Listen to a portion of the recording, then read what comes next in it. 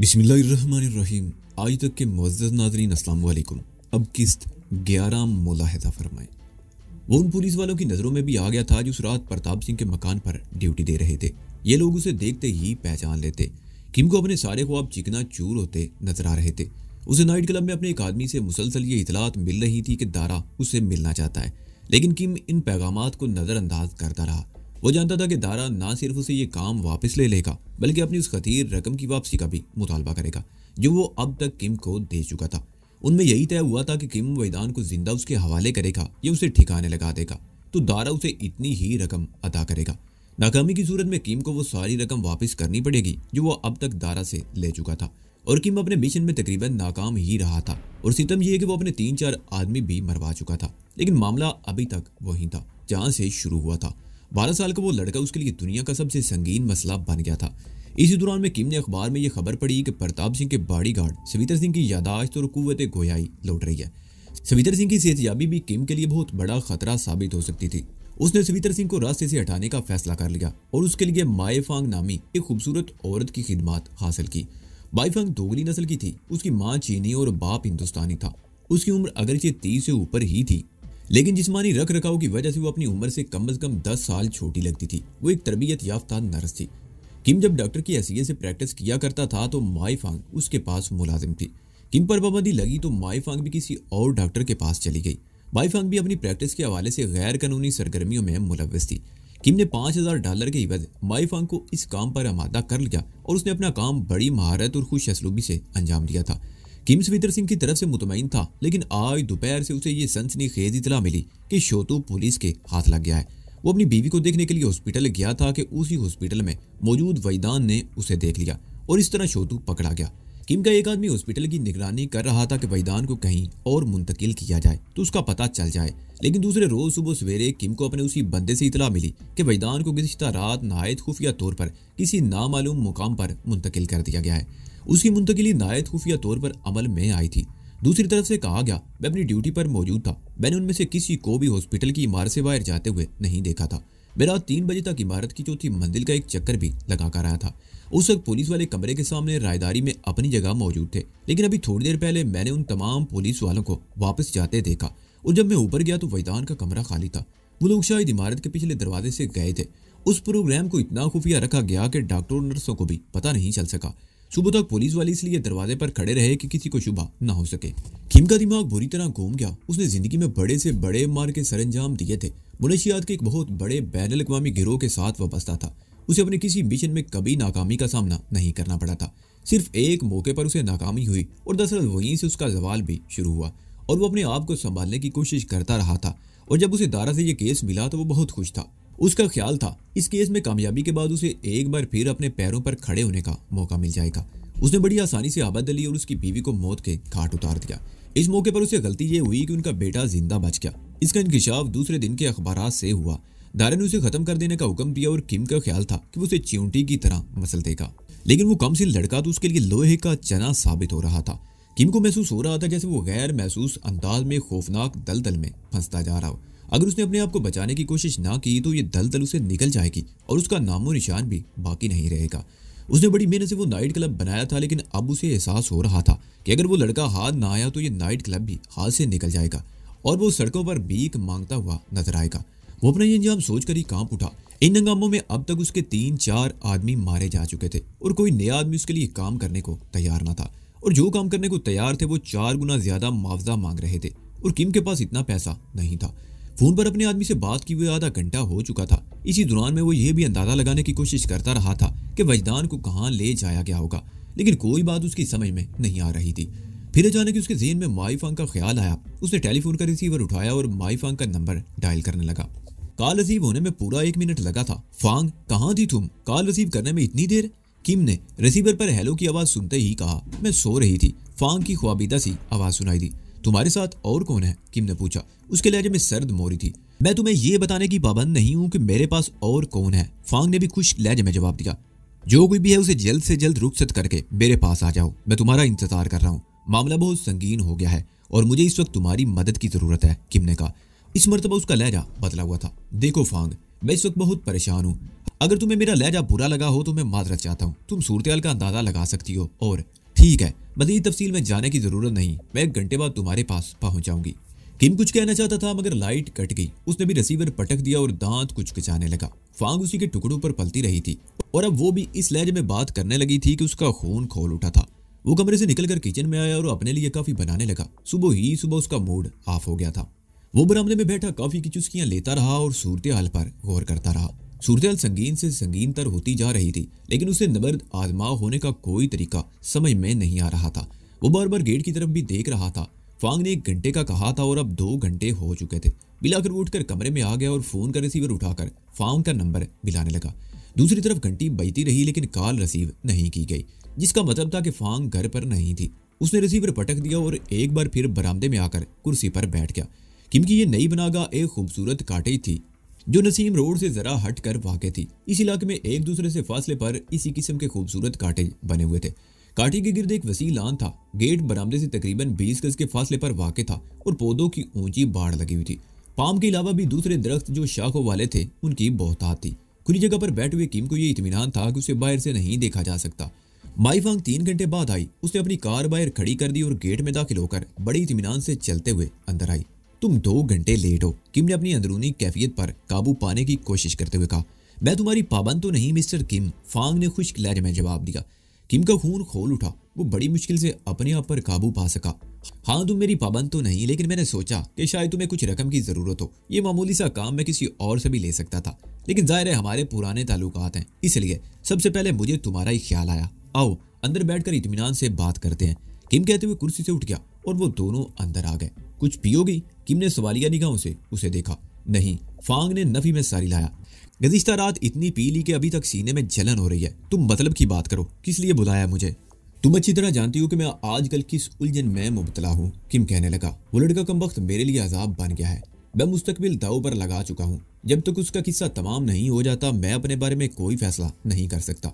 वो एक लम्हे को खामोश हुआ, फिर बात जारी रखते हुए बोला, कल तक वो हॉस्पिटल में था, लेकिन गुजश्ता रात वो पुरस्रार तौर पर कहीं गायब हो गया।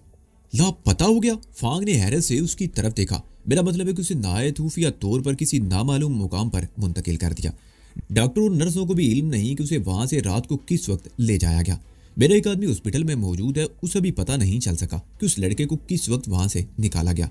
मुझसे क्या चाहते हो? फांग ने उलझी हुई नज़रों से उसे देखा। उस लड़के को तलाश करो, किम ने कहा, और अलमारी में से करेंसी नोटों की गड्डी निकालकर उसके सामने मेज पर फेंक दी। ये पाँच हज़ार डॉलर है। उसके ठिकाने लगाने का सुराग लगा लो तो इतनी रकम और दूँगा। तुम आजकल बहुत कंजूस हो गए हो। फांग ने कहते हुए नोटों की गड्डी उठा ली। प्रताप सिंह के एक आदमी को ठिकाने लगाने का मुआवजा भी तुमने सिर्फ़ पाँच हज़ार ही दिया था। हालाँकि वो कम से कम पचास हज़ार डॉलर का काम था। ये मिशन कामयाब हो जाए तो तुम्हें इतना कुछ दूँगा कि तस्वर भी नहीं कर सकती, किम ने कहा। लेकिन एक बात शायद तुम्हारे जहन में नहीं आई, फांग ने कहा। जब मैं प्रताप सिंह के आदमी को पॉइजन इंजेक्ट करने के बाद कमरे से निकली थी तो प्रताप सिंह भी वहाँ आ गया था। उसने रुककर मुझसे बात की थी। उसने मेरा चेहरा अच्छी तरह देखा था। अगर उसने मुझे देखकर पहचान लिया तो और उस दिन से तुम आजादाना घूम रही हो, तुम्हें अभी तक किसी ने शिनाख्त नहीं किया किम उसके चेहरे पर नज़रें जमाते हुए कहा। उस रोज तुम यहीं से तैयार होकर गई थी। तुम्हारे निचले ऊँट के दाएँ कोने पर एक तिल था। तुम्हारे बाल गोल्डन थे और उस वक्त तुम यूनिफॉर्म में थी। तुम्हारे नर्स वाले उलिये और इस उलिये में बड़ा फ़र्क है। तुम्हें शनाख्त करना आसान नहीं होगा, और फिर तुम्हें प्रताप सिंह के करीब तो नहीं जाना। सिर्फ़ उनका ठिकाना मालूम करना है। दूर रहकर। ठीक है? फांग गर्दन हिलाते हुए बोली, ये काम अगरचे खतर और खासा मुश्किल है, लेकिन तुम्हारे लिए ये भी सही। अगर तुम अपने मिशन में कामयाब होगी तो माला माल कर दूँगा तुम्हें, किम ने जवाब दिया। बाई फांग के जाने के बाद किम ने फ़ोन का रिसीवर उठाया और अपने एक आदमी का नंबर मिलाकर उसे फांग के बारे में हदायत देने लगा। मेरा ख्याल है वो यहाँ से सीधी अपने फ्लैट पर जाएगी, किम कह रहा था। तुमने दूर रहकर उसकी निगरानी करनी है, उसे एक लम्हे को भी तुम्हारी निगाहों से ओझल नहीं होना चाहिए। उसे ये शुभ भी ना हो कि तुम उसकी निगरानी कर रहे हो, उसने रिसीवर रख दिया। अब वो माई फांग के बारे में सोच रहा था, जब अच्छे दिन थे तो वो पालतू कुतिया की तरह उसके कदमों पर लौटा करती थी। और अब वो ना सिर्फ़ बराबरी पर उतर आई थी, बल्कि अपने आप को उससे बरतर समझने लगी थी। वो दिन गुजर गया और फिर दूसरा दिन ज़्यादा बेचैनी में गुजरा था। इसी दौरान में उसे ना तो माई फांग की तरफ़ से कोई इतला मिली और ना ही उसकी निगरानी करने वाले आदमी की तरफ़ से। उस रोज शाम को उसने चीफ आंग के ठिकाने पर फ़ोन के ज़रिए उससे रब्ता किया। सूरत हाल, बहुत संगीन है मिस्टर किम, चीफ आंग ने बताया। पुलिस ने छोटू से सब कुछ उगलवा लिया है। उसने ना सिर्फ़ अपने दूसरे साथियों के नाम बता दिए हैं, बल्कि ये भी बता दिया है कि वो लोग तुम्हारे लिए काम कर रहे हैं।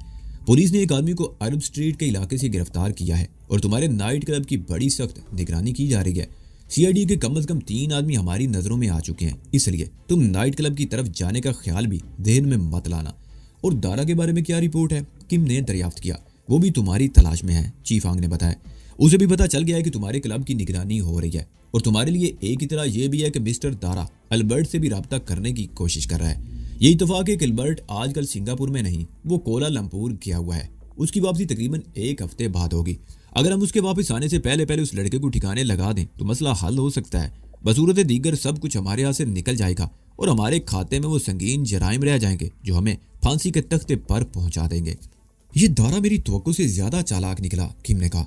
खुद सिर्फ़ एक मरतबा सामने आया। उसके बाद से मुसलसल पस मंजिर में है। इसने हमें आगे कर रखा है, लेकिन बचकर वो भी नहीं जाएगा। बहरहाल, अल्बर्ट की अदम मौजूदगी से हमें कुछ और मोहलत मिल गई है। अब हमें हर सूरत में वैदान को तलाश करके ठिकाने लगाना है। और तुम फ़िलहाल जरा मोहतात रहना। मेरी फ़िक्र मत करो, मिस्टर किम, चीफ आंग ने कहा मैं बिल्कुल महफूज जगह पर हूँ। न सिर्फ़ महफूज हूँ, बल्कि सूरत पर भी निगाह रखे हुए हूँ। किम कुछ देर उससे बातें करता रहा, फिर उसने फ़ोन बंद कर दिया।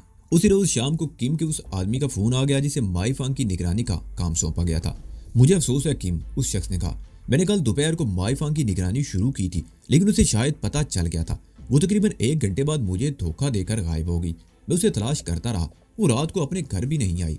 मैं आज सुबह से उसे तलाश कर रहा था, वो तकरीबन एक घंटा पहले अपने फ्लैट वापस आई। लेकिन आधे घंटे बाद पता चला कि वो इमारत के पिछले दरवाजे से गायब हो गई। अगर तुम मेरे सामने आकर ये सब कुछ बताते तो मैं तुम्हारी गर्दन मरोड़ देता। किम ने चीखते हुए कहा और फ़ोन का रिसीवर पटक दिया। ये रिपोर्ट सुनकर उसका खून खोलने लगा। दारा ने ठीक ही कहा था कि उसने अहमकों की फौज पाल रखी है। वाकई ये सब लोग अहमक थे। अब तक इनसे कोई काम नहीं हो सका था, बल्कि ये लोग हर काम को बिगाड़ते चले गए थे। किम ये सब कुछ सोच रहा था कि बरामदे में किसी के कदमों की हल्की सी चाप सुनाई दी। फिर दरवाज़ा खुला और माई फांग अंदर दाखिल हुई।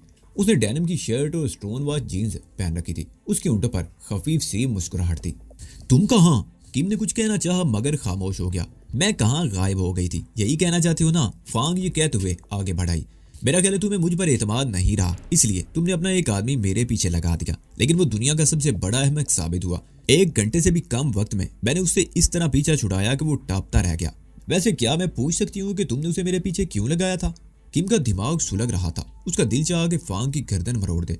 लेकिन यह मौका ऐसा नहीं था कि इस किस्म की ख्वाहिश पूरी की जा सकती।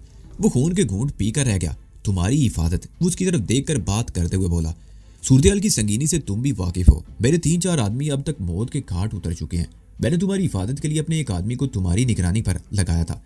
मेरी हिफाजत के लिए या मेरी निगरानी करके वो मेरी सरगर्मियों पर निगाह रख सके, ताकि अगर मैं उस लड़के का सुराग लगा लूँ तो मुझे दूध में से मक्खी की तरह निकाल कर फेंक दिया जाए?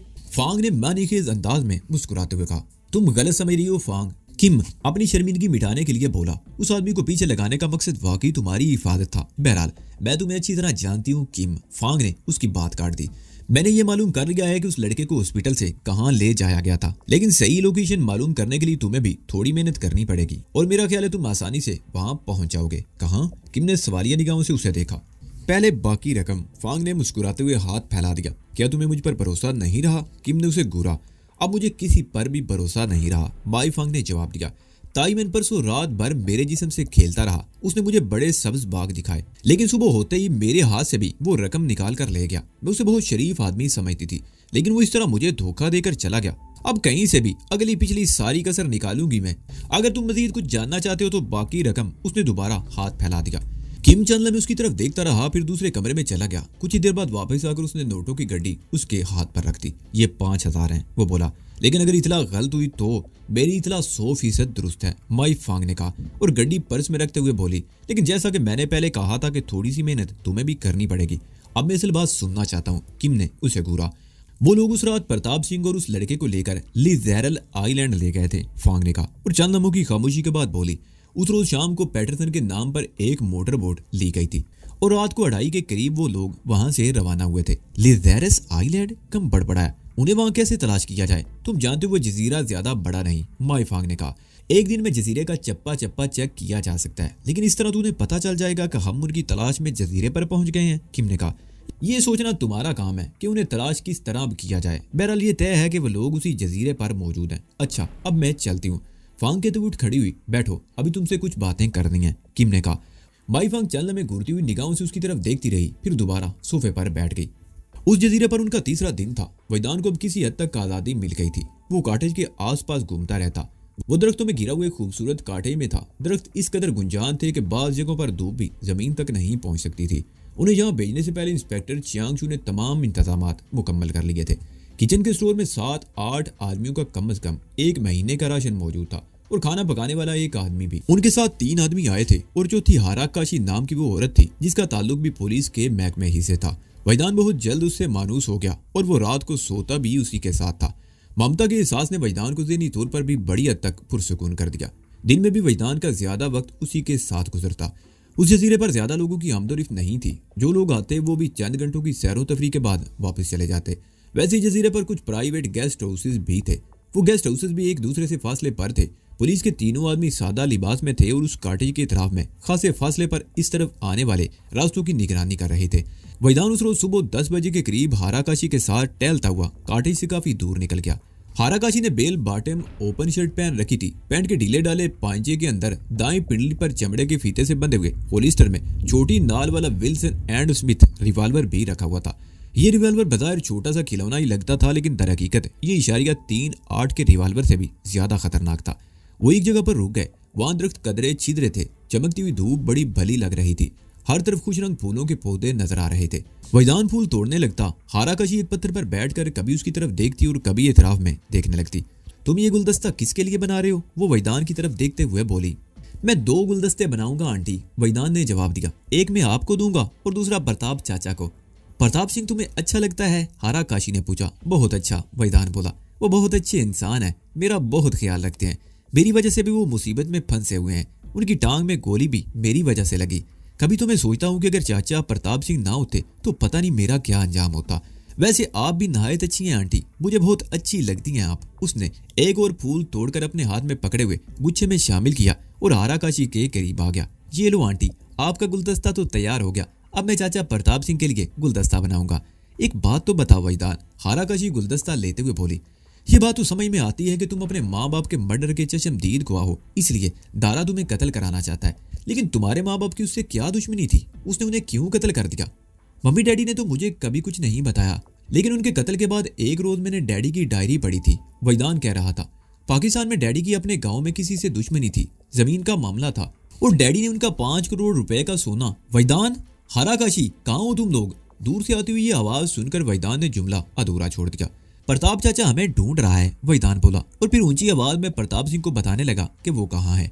चंद सेकंड बाद ही प्रताप सिंह दरख्तों से निकलकर सामने आ गया। मैं तुम्हें बीच की तरफ़ तलाश कर रहा था और तुम यहाँ फूल तोड़ रहे हो, प्रताप सिंह ने करीब आकर कहा। आंटी आराकाशी के साथ सैर करता हुआ इस तरफ़ आ गया था वैदान ने कहा। इस तरह घूमना फिरना कितना अच्छा लग रहा है चाचा। हाँ वाकई अच्छा लग रहा है। और ये जगह तो नहायत अच्छी है, प्रताप सिंह इधर उधर देखते हुए बोला। ये जगह कदरे बुलंदी पर थी और बाई तरफ़ साहिल का कुछ हिस्सा भी नज़र आ रहा था। साहिल पर चंद लोग नज़र आ रहे थे। आज मुझे एक बात का ख्याल आया। प्रताप सिंह ने दोबारा इस तरफ़ देखते हुए कहा, क्यों ना इस मौके से फ़ायदा उठाया जाए और तुम्हारी ट्रेनिंग शुरू कर दी जाए? कैसी ट्रेनिंग चाचा? वैदान ने सवालिया निगाहों से उसकी तरफ़ देखा। मार्शल आर्ट की ट्रेनिंग प्रताप सिंह बोला। मार्शल आर्ट एक ऐसा फन है जिसे खालियात हुए भी दुश्मन को जहर किया जा सकता है। मैंने तुम्हें एक मरतबा बताया था ना कि मैं खुद भी ब्लैक बेल्ट हूँ और एक मौके पर मैंने तुम्हारी ट्रेनिंग भी शुरू की थी। लेकिन हमें यह प्रोग्राम अधूरा छोड़ना पड़ा और अब मौका है कि इस प्रोग्राम पर दोबारा अमल शुरू कर दिया जाए। लेकिन चाचा, तुम्हारी जो अपनी टांग जख्मी है। तुम मुझे ट्रेनिंग कैसे दोगे? वैदान बोला। मेरी टांग अब ठीक है और तुम्हें एक और बात बताऊँ। तुम्हारी ये जो आंटी है ना, उसने हाराकाशी की तरफ़ इशारा किया। ये भी मार्शल आर्ट की माहिर है। सेकंड डान है ये। इसकी मौजूदगी से भी तुम फ़ायदा उठा सकती हो। क्या वाकई? वैदान ने मुड़कर हाराकाशी की तरफ़ देखा। हाराकाशी ने मुस्कुराते हुए इस बात में सारी लाया। वो पुलिस में थी और जराइम पेशा लोगों से निमटने के लिए पुलिस वालों को भी खास तौर से मार्शल आर्ट की तरबियत दी जाती थी। ठीक है चाचा वैदान बोला। लेकिन आज तो मेरा मूड बिल्कुल नहीं। क्यों ना इस प्रोग्राम पर कल अमल शुरू कर लिया जाए। मैं अपने आप को जहनी तौर पर तैयार कर लूँगा। वैदान ठीक कह रहा है हारा काशी ने कहा। हम सुबह सवेरे इस प्रोग्राम पर अमल शुरू कर देंगे। ठीक है भाई, प्रताप सिंह कहते हुए हारा काशी के करीब एक पत्थर पर बैठ गया। वैदान घूम फिर कर फूल तोड़ता रहा। उसने गुलदस्ता मुकम्मल करके प्रताप सिंह को दे दिया और मजीद फूल तोड़ने लगा। अच्छा भाई, मैं चलता हूँ। तुम लोग भी थोड़ी देर में आ जाना, प्रताप सिंह कहते हुए काटे की तरफ़ चल पड़ा। थोड़ी देर बाद वैदान भी हाराकाशी के पास आकर बैठ गया। हाराकशी चलने में इधर उधर देखती रही, फिर वैदान की तरफ़ देखते हुए बोली, तुम पाकिस्तान में अपने फादर के दुश्मनों के बारे में बता रहे थे। ये बात शायद पाँच करोड़ के सोने की हो रही थी। वो क्या किस्सा था? मुझे ठीक से याद नहीं रहा। मैं बाद में आपको बताऊँगा। वैदान कहते हुए उठ गया। आइए, उस तरफ़ से घूमते हुए काठी की तरफ़ चलते हैं। हाराकाची भी उठ गई और वो दोनों एक तंग सी पगडंडी पर चलने लगे। तकरीबन दो सौ गज के फासले पर एक छोटी सी नदी के किनारे पर रुक गए। ये किसी चश्मे का पानी था जो बुलंदी की तरफ़ से आ रहा था। वैदान पानी में पैर लटका कर बैठ गया। हाराकाशी ने भी किनारे पर बैठकर दोनों पैर पानी में डाल दिए और पैरों को आहिस्ता आहिस्ता हरकत देते हुए इधर उधर देखने लगी। और फिर फूलों के अकम में एक आवाज़ सुनकर वो चौंक गई। उसने मुड़कर देखा, एक बहुत हसीन औरत दरख्तों से निकलकर उनकी तरफ़ आ रही थी। वैदान ने भी उस औरत को देख लिया। हेलो, वो औरत हाराकाशी और वैदान की तरफ़ देख कर मुस्कुराई। हेलो, हाराकाशी ने भी मुस्कुराते हुए गर्दन हिला दी और गहरी नज़रों से उसकी तरफ़ देखने लगी। वो औरत जीन्स और ओपन शर्ट पहने हुए थी। उसके चेहरे के नकूश बता रहे थे कि उसके माँ बाप में से एक का ताल्लुक हिंदुस्तान से ज़रूर था। हम आज सुबह बोट पर यहाँ आए थे। उस औरत ने खुद ही बात शुरू कर दी। मेरे साथ पता नहीं कहाँ निकल गए हैं। उन्हीं को तलाश करती फिर रही हूँ। हो सकता है वो तुम्हें तलाश करते फिर रहे हूँ हारा काशी ने कहा। हो सकता है, औरत ने कहा। और फिर वैदान की तरफ़ देखते हुए बोली, बड़ा प्यारा बच्चा है, तुम्हारा बेटा है? हाँ हाराकाशी के मुँह से बेइख्तियार निकला। उसने महसूस किया था कि वो हसीन औरत वैदान में ज़्यादा दिलचस्पी ले रही थी। बातें तो हाराकाशी से कर रही थी, लेकिन उसकी तवज्जो का मरकज वैदान था। हाराकाशी ने एक बात और खास तौर से नोट की थी कि उस औरत के अंदाज में एक तरह की बेचैनी थी, और वो इधर उधर देख रही थी। हाराकाशी की छठी ने उसे किसी गड़बड़ का एहसास करा दिया।